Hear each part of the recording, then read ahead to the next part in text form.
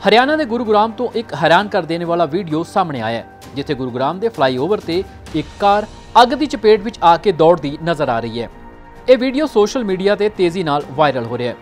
ਤਸਵੀਰਾਂ ਵਿੱਚ ਤੁਸੀਂ ਵੇਖ ਸਕਦੇ ਹੋ ਕਿ ਕਿਸ ਤਰ੍ਹਾਂ ਫਲਾਈਓਵਰ ਤੇ ਇੱਕ ਕਾਰ ਅੱਗ ਦੇ ਗੋਲੇ ਵਾਂਗ ਦੌੜਦੀ ਜਾ ਰਹੀ ਹੈ। ਦੌੜਦੀ ਦੌੜਦੀ ਇਹ ਕਾਰ ਸੜਕ ਤੇ ਖੜੇ ਇੱਕ ਆਟੋ ਰਿਕਸ਼ੇ ਵਿੱਚ ਟੱਕਰ ਮਾਰਦੀ ਹੈ, ਜਿਸ ਨਾਲ ਆਟੋ ਵੀ ਪਿੱਛੇ ਨੂੰ ਦੌੜ ਜਾਂਦਾ ਹੈ। ਇਹ ਦ੍ਰਿਸ਼ ਦੇਖ ਕੇ ਲੋਕਾਂ ਵਿੱਚ ਹੜਕੰਪ ਮਚ ਗਿਆ ਤੇ ਲੋਕ ਕਾਰ ਨੂੰ ਰੋਕਣ ਦੀ ਕੋਸ਼ਿਸ਼ ਕਰਦੇ ਨਜ਼ਰ ਆਏ। ਫਿਲਹਾਲ ਕਾਰ ਨੂੰ ਅੱਗ ਕਿਸ ਤਰ੍ਹਾਂ ਲੱਗੀ, ਇਸ ਬਾਰੇ ਅਜੇ ਕੋਈ ਜਾਣਕਾਰੀ ਨਹੀਂ ਹੈ। ਪਰ ਗਨੀਮਤ ਇਹ ਰਹੀ ਕਿ ਕਾਰ ਨੂੰ ਅੱਗ ਲੱਗਣ ਨਾਲ ਕਿਸੇ ਤਰ੍ਹਾਂ ਦਾ ਕੋਈ ਜਾਨੀ ਨੁਕਸਾਨ ਨਹੀਂ ਹੋਇਆ। ਕਾਰ ਦਾ ਡਰਾਈਵਰ ਵੀ ਸੁਰੱਖਿਅਤ ਦੱਸਿਆ ਜਾ ਰਿਹਾ ਹੈ। Bureau report D5 channel Punjabi.